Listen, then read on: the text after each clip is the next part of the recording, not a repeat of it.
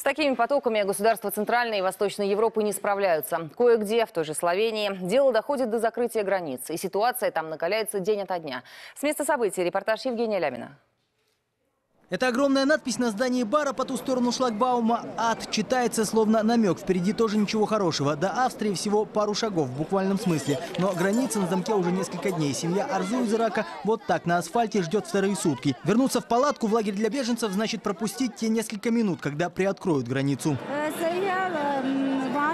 Мы здесь одну ночь, но в лагере провели два дня и две ночи. Не было еды и воды. Там мы сидели на полу. Было сыро. Недовольство и напряжение нарастает. Беженцы находят выход – подняться на пригорок и просто обойти контрольно-пропускной пункт. Сначала одна семья, следом другая. Если я буду ждать там, значит еще минимум три дня я не смогу никуда уехать. В Австрию по шпалам границу по железнодорожным путям переходят свободно. Им вслед смотрят славянские военные, для которых главная задача не пустить беженцев обратно в Словению. В Австрии армейские подразделения внизу, на дороге. На тех, кто идет по шпалам, словно закрывают глаза. Безусловно, о пересечении границы знают. Здесь постоянно баражирует вертолет. Но остановить этот поток беженцев, кажется, уже невозможно. Начнешь и вспыхнет. На пропускном пункте люди тоже решают идти на пролом. Один, второй, и вот уже толпа поднимается с ног. Военным и полицейским приходится отступить отступить и уступить.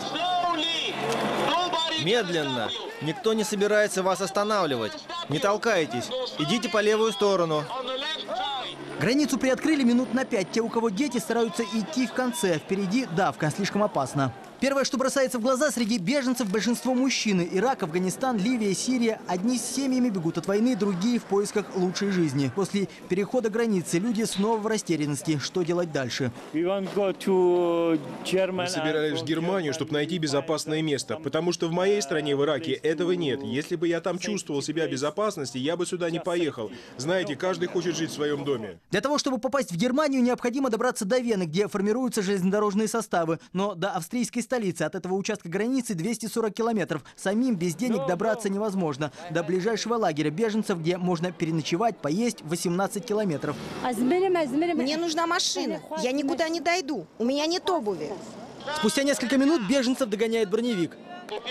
Если вы хотите ехать на автобусе, идите назад, возвращайтесь. Конечно, идти назад в Словению и снова ждать никто не желает. Те, кто с маленькими детьми через 100-200 метров понимают, далеко не уйдешь.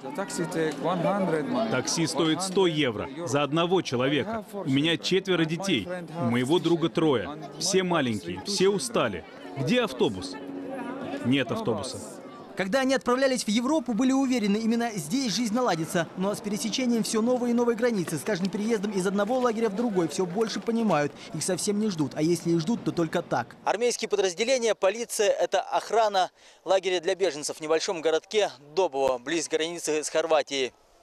Близко никого не подпускают, полностью периметр оцеплен, а с недавних пор здесь дежурит постоянно и пожарная машина после того, как беженцы подожгли ночью палатки. В сам лагерь не дают войти даже волонтерам. Хлеб передают через забор. На улицах усиленные патрули. Жители некогда тихого славянского городка относятся к такому переполоху спокойно, прекрасно понимая, что для них все это временно. В такую погоду они без теплой одежды, без возможности помыться и спят они не как люди. У нас-то с ними проблем нет, а у них проблемы. Проблемы демократии, которую подарили им в Ираке, Ливии, Сирии. В итоге у них все разрушено. А ради чего? Кому это все нужно? Могли бы оставить их в покое и жили бы они как жили. Вместо этого мы несем им демократию. Какую еще демократию? Вот эту демократию. У этой демократии выбор небольшой – спать в палатке на улице или, если повезет, на полу в помещении. Единственная надежда, что смогут устроиться в Германии. Правда, с вступлением в силу нового немецкого миграционного закона и эту надежду у них, кажется, отнимают. Кого-то депортируют, социальными выплатами тоже будут проблемы. Но даже несмотря на все это, они готовы терпеть и идти дальше. Дороги обратной нет, а там вдруг повезет. Евгений Лямин, Виктор Швагерус, Наталья Литовка и Сергей Романов. Первый канал.